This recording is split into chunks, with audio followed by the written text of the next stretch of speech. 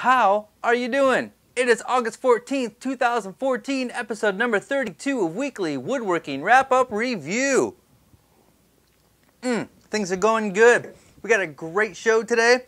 We got lots of good videos to show you, lots of stuff going on in my shop. So, uh, today I am drinking Maumee Bay Brewing Company. This is made right here in Toledo, Ohio. This is the Blueberry Porter, and it is fantastic. So, last Friday, Steve Ramsey from Woodworking for Mere Mortals and Alex from This Woodwork put out a challenge to all their viewers to make something that has to do with their hometown, state, or country. So I stopped my video, my project video that I was making, and I made this.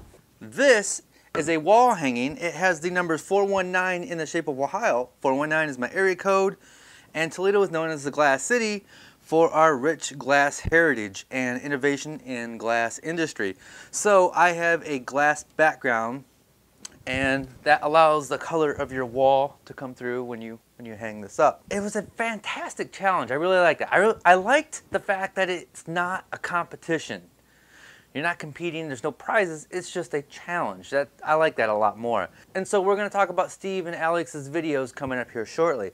So uh, if you want to check out the video for that, that link is down below. Last night, I was lucky enough to be a guest on the Modern Woodworkers Association podcast. It was a great interview that I had with Chris Diami and Tom. We talked about all kinds of stuff. We talked about how I got started in, in doing all this and going on my own and being a self-employed entrepreneur. Drinks to you guys for having me on the show. I appreciate that. So, a link will be down below to listen to that. Okay, so you guys are always asking me, when are you to get that CNC machine up and running? Boom. Boom. I got it up and running yesterday, finally. Um, this was the first project I made out of wood.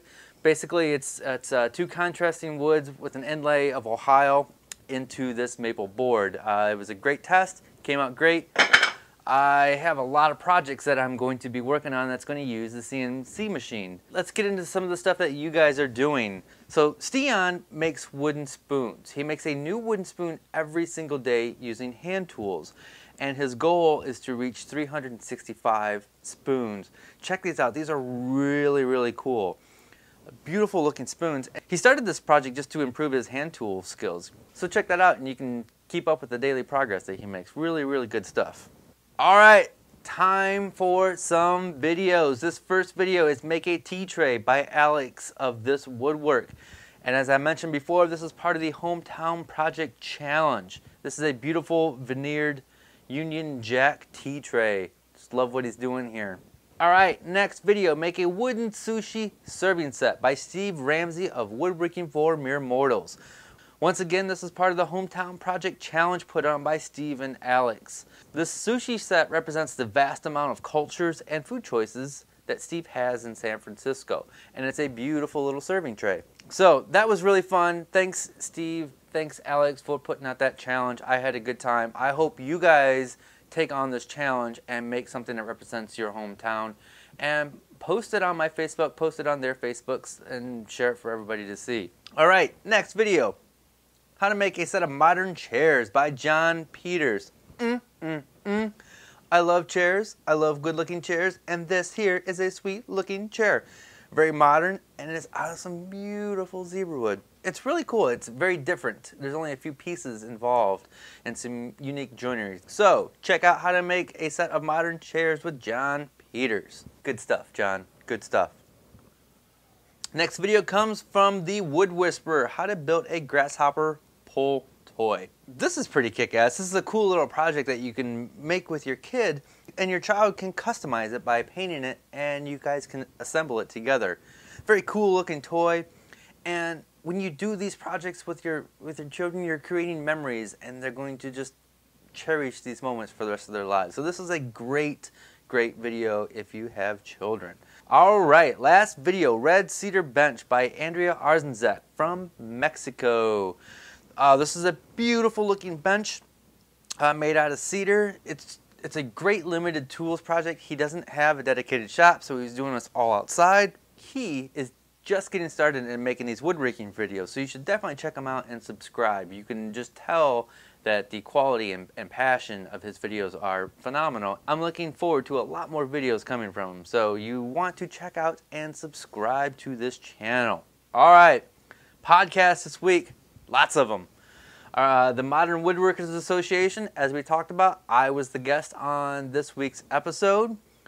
The Craftsman's Road came out with a new episode. We also have Shop Talk Live and Wood Talk. And finally, Bob from I Like to Make Stuff has a brain pick interview with Jimmy DiResta. Jimmy DiResta is one of my favorite makers, does some amazing stuff. He's got a good brain up in that head. Very creative dude. So is Bob, for that matter. So, two interesting, creative people talking to each other. Very fun. The next interview that Bob is going to do is with Jay Bates. Also, great dude, makes awesome videos and just moved into a new house and has a new shop. And I am looking forward to that interview. As always, there's more links to more videos down below if you click on the playlist link. Uh, I highlighted five videos. There's like another 15 videos that you can watch. If you're into making bandsaw boxes, I'm selling the blanks here on my website. I also have some beer tote kits if you want to make a cool little beer tote. And I have some pencil holder kits for sale on my website. So that about wraps it up, folks. New project video coming out on Monday, so look forward to that. Stay passionate and make something. To keep up with me, subscribe to my YouTube channel and follow me on Facebook, Google, Twitter, Pinterest, Tumblr, Instagram, and Etsy. And be sure to check out my website at drunkenwoodworker.com.